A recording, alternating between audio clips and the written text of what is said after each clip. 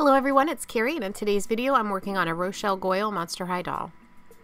This will just be a simple face-up video as this was one of the dolls that I made for a recent convention that I could offer at a lower price point because I used a wig and a simple costume.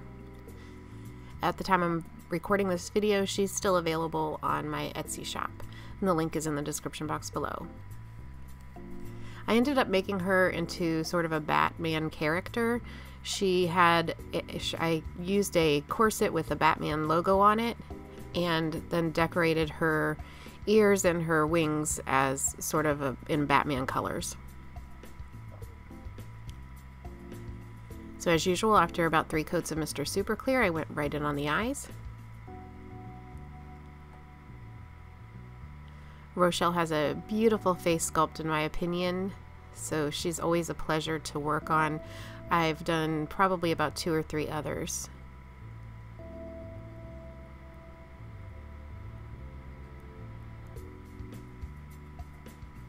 I always try to fight the features a little bit, make them a little bit different so they look like a completely different character than the original doll. So uh, to do that I got kind of go over the the regular line of the lip or under the regular line of the lip, make the eyes bigger or smaller than the sculpt. So going in on the lips, I'm refining it a little bit after using some Pan Pastel. I want them to be kind of red, so I'm using a crimson red Derwent watercolor pencil. And I keep erasing that center line because I just want that to be more of a highlight in her cupid's bow.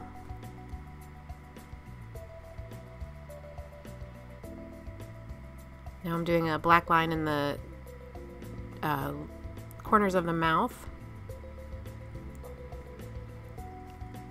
And just trying to get that shape the way I want it. Now I'm going in on the shading. I went with some skin tones. And I'm really happy with how this came out. It looks like she's got kind of got super pale skin with some different colored freckles.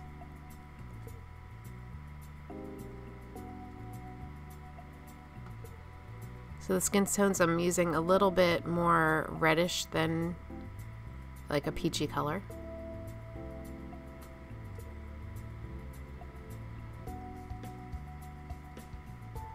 And blending that in with a Q-tip.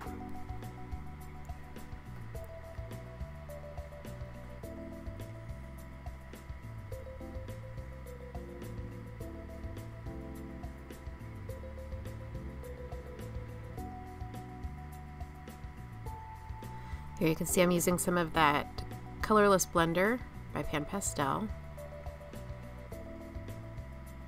And you can kind of get a good idea of what it does here. The cheeks were super red and it really blended them out. So doing some more contouring with my brush that I've cut short to a sort of a stencil-like brush. It's just a regular round brush, a small one. And then I'm going in with some more shading around the nose with a small angular brush. And the brush I'm using here, of course, is my trusty Wet n Wild eyeshadow brush from the Dollar Tree. More blending of that blush with the Pan Pastel. I just feel like it was a little bit too much. That's one good thing about the colorless blender. It kind of takes it down a notch.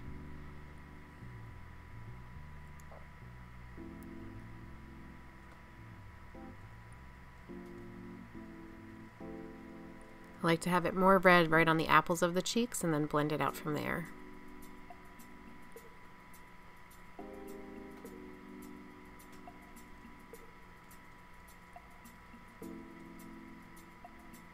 So going in on the ears with some uh, black there to do some shading.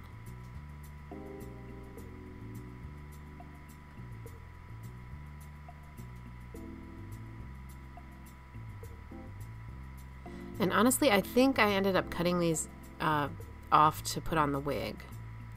So I did the work and then I decided that I didn't want the ears. so I cut them off and then I adhered a wig.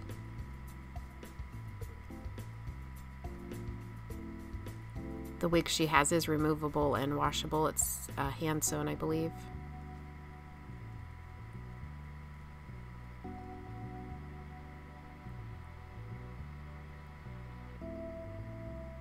I hand sew some of my wigs and then some of them they're glue and some of them are just faux fur.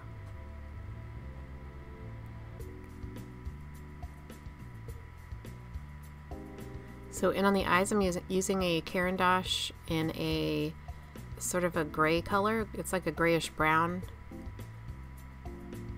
And it's a Caran d'Ache Museum Aquarelle, and you can see how creamy, beautiful that goes on.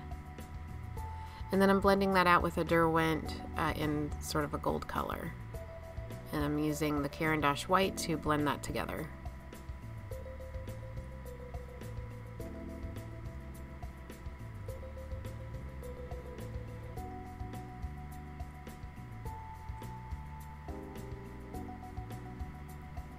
Going back with the gold from Caran d'Ache. I think I used mainly Caran d'Ache colors in the eyes here.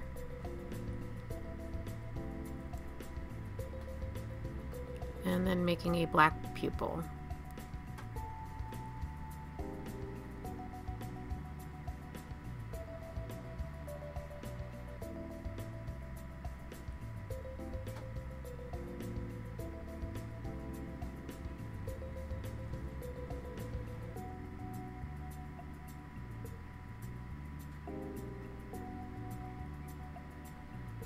Now going in with some white and doing some highlighting around the corners of the eyes, the around the waterline.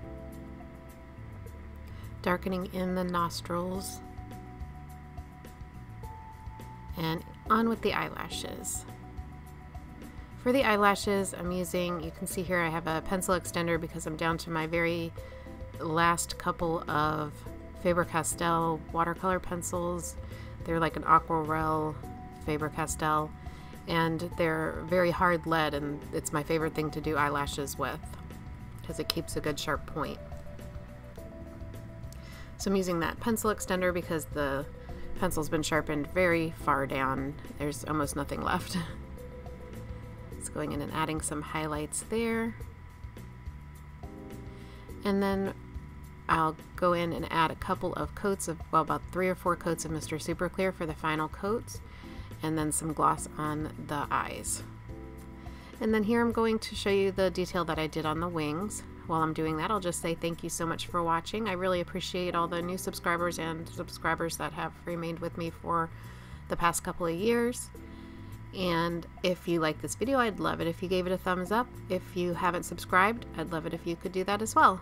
Thank you so much for watching. Let me know if you have any questions in the comment section below. Have a great day. Bye.